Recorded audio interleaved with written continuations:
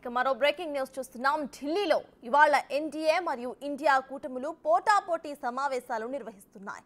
సాయంత్రం నాలుగు గంటలకు ఎన్డీఏ కూటమి సమావేశం జరగబోతోంది. ఆ తర్వాత సాయంత్రం ఆరు గంటలకు ఢిల్లీలో ఇండియా కూటమి మీటింగ్ ఏర్పాటు చేసుకుంది.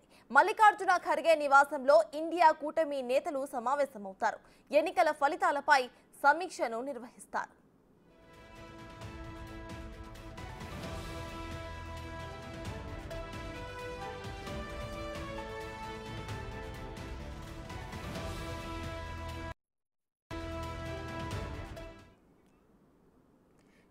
ఇవాళ ఎన్టీఏ ఇండియా కూటములు పోటాపోటీ సమావేశాలు నిర్వహిస్తున్నాయి.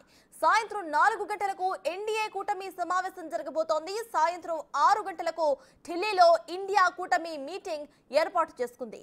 మల్లికార్జున ఖర్గే నివాసంలో ఇండియా కూటమి నేతలు సమావేశమవుతారు. ఎన్నికల ఫలితాలపై సమీక్షను నిర్వహిస్తారు.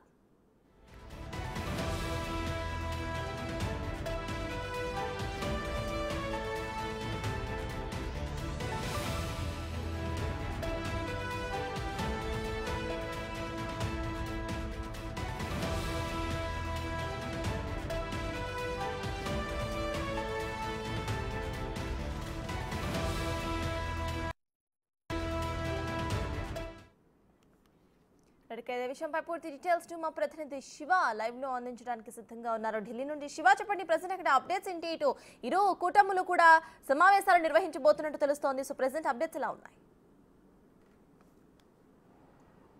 లోక్సభ ఎన్నికల ఫలితాల తర్వాత సట్టాస్ ఈరోజు ఢిల్లీలో ఇండియా కూటమి ఎన్డీఏ కూటమి ఇద్దరు కూడా పోటాపోటీ సమావేశాలు నిర్వహిస్తున్నారు. ఎవరికి కూడా సింగిల్గా ప్రభుత్వాన్ని ఏర్పాటు చేసే మ్యాజిక్ ఫిగర్ అనేది రాకపోవడంతో కూటమి నేతలతో కలిసి ప్రభుత్వాన్ని ఏర్పాటు చేయడానికి ప్రయత్నిస్తున్నారు. దానిలో భాగంగానే అంటే కూటమితో కలిపి ఎన్డీఏ ప్రభుత్వాన్ని చే- ఏర్పాటు చేయడానికి సరిపడా స్థానాలు ఉన్నప్పటికీ కూడా దాంట్లో కొంతమంది చేజారిపోతారనే ఆందోళన వ్యక్తమవుతోంది. బీజేపీ నేతల్లో ఎన్డీఏ కూటమి నేత ఎన్డీఏ కూటమి నేతలు. ఈ నేపథ్యంలోనే సాయంత్రం నాలుగు గంటలకు ఎన్డీఏ కూటమి ఈ సమావేశం జరగబోతోంది. ఈ సమావేశానికి టీడీపీ అధినేత చంద్రబాబు జనసేన అధినేత పవన్ కళ్యాణ్ జేడీయూ అధినేత నితీష్ కుమార్ ఇతర ఇండియా ఎన్డీఏ కూటమి నేతలందరూ కూడా ఈరోజు సమావేశం కావుతున్నారు సాయంత్రం నాలుగు గంటలకు ప్రధాని నరేంద్ర మోడీ అధ్యక్షతన ఎన్డీఏ కూటమి సమావేశం జరగబోతోంది. ఈ సమావేశంలో ప్రధానంగా ప్రభుత్వ ఏర్పాటు మరొక కేంద్ర కేబినెట్కి సంబంధించి కీలక వీరందరి నుంచి కొంత ఫీడ్బ్యాక్ తీసుకునేందుకు ఎన్డీఏ కూటమి సమావేశాన్ని ఏర్పాటు చేసినట్టు తెలుస్తుంది. ప్రధాని నరేంద్ర మోడీ అధ్యక్షతన ఈ సమావేశం జరగబోతోంది.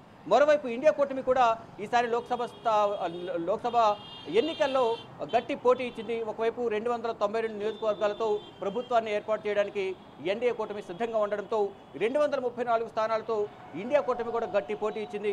ఇండియా కూటమి కూడా ప్రభుత్వాన్ని ఏర్పాటు చేసేందుకు ఇంకా కావలసిన సీట్లను సాధించేందుకు ఇతర పార్టీలతో మంతనాలు జరుపుతున్నట్లుగా తెలుస్తుంది. దానిలో భాగంగా ఇప్పటికే కర్ణాటక ట్రబుల్ షూటర్గా పేరు పొందిన డిప్యూటీ సీఎం డీకే శివకుమార్ను రంగంలోకి దించినట్టు తెలుస్తుంది. వారితో పాటు శరద్ పవార్ అఖిలేష్ యాదవ్ను కూడా రంగంలోకి దించి ఇటు చంద్రబాబుతో ఇతర కొంతమంది ఎన్డీఏ కూటమి నేతలతో మాట్లాడేందుకు వారందరినీ రంగంలోకి దింపినట్టు తెలుస్తుంది. కానీ దానికి సంబంధించి అధికారిక సమాచారం అయితే తెలియాల్సింది. కొన్ని ఊహాగానాలు అయితే మాత్రమే ఇప్పుడు ప్రజెంట్ వ్యక్తమవుతూ ఉన్నాయి. అంటే ఎవరికి కూడా రెండు వందల డెబ్బై రెండు మ్యాజిక్ ఫిగర్ అనేది సింగిల్గా ప్రభుత్వాన్ని ఏర్పాటు చేయడానికి ఇక్కడ ద మ్యాజిక్ ఫిగర్ ఏ ఒక్క పార్టీకి రాలేదు. అంటే ఒకవైపుగా ఇండియా ఎన్డీఏ కూటమిలో బీజేపీకి రెండు వందల నలభై స్థానాలు వచ్చినప్పటికీ కూడా ఇటు కాంగ్రెస్కు మాత్రం వందకు స్థానాల వరకు మాత్రమైతే మిగతా ఇండియా కూటమి పార్టీ నేతలతో కలిపి మాత్రమే రెండు వందల ముప్పై నాలుగు స్థానాలు వచ్చాయి.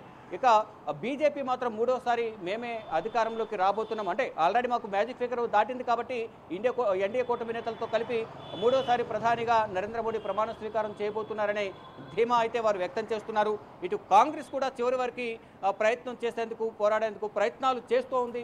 ఇతర పార్టీలకు సంబంధించిన నేతలందరితో కూడా మాట్లాడి అంటే మొన్నటి వరకు కూడా జేడీయూ నేత నితీష్ కుమార్ ఇండియా కూటమిలో ఉండి మొదటి నుంచి మిత్రపక్షాలన్నింటిని కూడా అంటే ప్రతిపక్ష పార్టీలన్నింటినీ కూడా అన్నింటిని కూడా ఒక తాటిపైకి తీసుకువచ్చి బీజేపీ ప్రభుత్వాన్ని ఏర్పాటు చేద్దామనే ఉద్దేశంతో జేడీయూ అధినేత నితీష్ కుమార్ ఒక ప్రయత్నం చేశారు. అందరినీ ఒక దగ్గరికి తీసుకొచ్చిన తర్వాత మళ్ళా ఎన్డీఏ కూటమిలోకి వెళ్ళిన పరిస్థితి కనిపిస్తోంది. దానిలో భాగంగానే మళ్ళా జేడీయూ నేతను నితీష్ కుమార్ను వెనక్కి తీసుకొచ్చే ప్రయత్నాలు అయితే వీరు మంత్రాలు జరుపుతున్నట్టు తెలుస్తుంది. కానీ అవి ఆ చర్చలు ఎంతవరకు సఫలీకృతం అవుతాయా అనేది కూడా చూడాల్సి ఉంది. మరోవైపు చంద్రబాబుతో కూడా మాట్లాడేందుకు ప్రయత్నాలు జరుగుతున్నట్లుగా అయితే కొంత సమాచారం అయితే అందుతుంది. కానీ ఇది ఎంతవరకు కరెక్ట్ అనేది కూడా అధికారిక సమాచారం అయితే రావాల్సి ఉంది. కానీ ఇటు టీడీపీ నేతలు కానీ ఇతర కొంతమంది సీనియర్ నేతలు ఎవరు ప్రతి ఒక్కరు కూడా అంటే చంద్రబాబు ఇప్పుడు ఈ పరిస్థితుల్లో ఇండియా కూటమిలోకి వెళ్ళే అవకాశం లేదు అనేది మరొకంత ప్రచారం అయితే జరుగుతోంది. అంటే మొత్తంగా చూసుకుంటే ఈరోజు రెండు కూటములు కూడా ఇండియా అలాగే ఎన్డీఏ రెండు కూటమి కూటములు సమావేశాలు నిర్వహిస్తున్నాయి.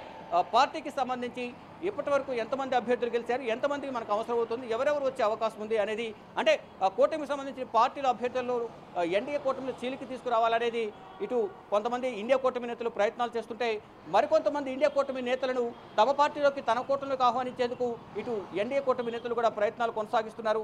చూడాలి మరి సాయంత్రానికి ఎవరి ప్రయత్నాలు ఎంతవరకు సఫలీకృతమవుతాయో కూడా చూడాల్సి ఉంది. సాయంత్రం నాలుగు గంటలకు ఎన్డీఏ కూటమి సమావేశం ప్రధాని నరేంద్ర మోడీ అధ్యక్షతన జరగబోతోంది. శివ ఇటు చూస్తే నాలుగు గంటలకు ఎన్డీఏ కూటమి సమావేశం ఉంది. ఇక ఈ సమావేశానికి ఇటు నితీష్ కుమార్ కూడా హాజరయ్యే అవకాశాలు కనిపిస్తున్నాయి. మరి ఈ నాలుగు గంటల సమావేశం తర్వాతనే ఒక క్లారిటీ వచ్చే అవకాశాలు ఎక్కువగా కనిపిస్తున్నాయి అనుకోవచ్చా? డెఫినెట్గా ఎందుకంటే మ్యాజిక్ ఫిగర్ అనేది దాటింది. కూటమి నేతలతో కలిపి మ్యాజిక్ ఫిగర్ అనేది దాటింది. ప్రభుత్వాన్ని ఏర్పాటు చేయడానికి కావాల్సినంత ఆ, సంఖ్యతే ఎన్డీఏ దగ్గర ఉంది. అంటే రెండు వందల తొంభై రెండు మ్యాజిక్ ఫిగర్ కావాల్సింది రెండు వందల డెబ్బై రెండు మాత్రమే. కానీ ఇక్కడ ఎక్కువ స్థానాలు ఉన్నాయి కాబట్టి అంటే ప్రభుత్వాన్ని ఏర్పాటు చేస్తే అంటే సింగిల్గా ఏర్పాటు చేసే అవకాశం లేదు కాబట్టి ఇక మిత్రపక్షాల అభిప్రాయాలు కూడా పరిగణనలోకి తీసుకున్న తర్వాత మాత్రమే ప్రభుత్వాన్ని ఏర్పాటు చేయడానికి అవకాశం ఉంటుంది.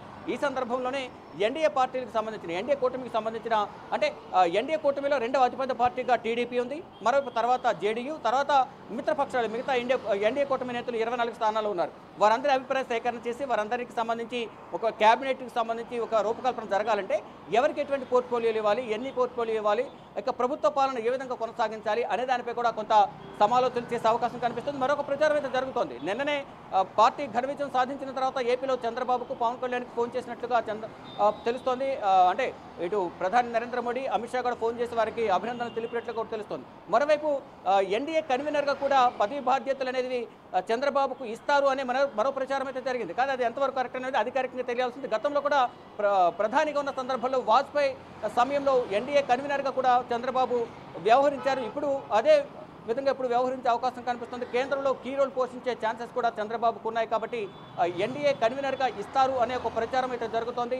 దానికి సంబంధించి సాయంత్రం నాలుగు గంటలకు జరగబోయే సమావేశంలో కొన్ని కీలక నిర్ణయాలు తీసుకునే అవకాశం కనిపిస్తుంది. కేంద్ర కేబినెట్లో చంద్ర టీడీపీతో పాటు ఇటు జనసేనకి కూడా కీలక పోర్ట్ఫోలియోలు కేటాయించే ఛాన్సెస్ ఉన్నాయి. ఇటు జేడీయూ ఇతర మిత్రపక్ష పార్టీలకు సంబంధించి కూడా ఎన్డీఏ కూటమిలో ఎవరికి ఎటువంటి పోర్ట్ఫోలియోలు ఇవ్వాలి ప్రభుత్వ పాలన ఏ విధంగా కొనసాగించాలి అనేది అందరిది అందరి సమా అందరి అభిప్రాయాలు ఉమ్మడి అభిప్రాయాలు తీసుకున్న తర్వాత ప్రభుత్వ ఏర్పాటుకు సంబంధించి ప్రధానిగా ఎవరు ప్రమాణ స్వీకారం చేయాలి?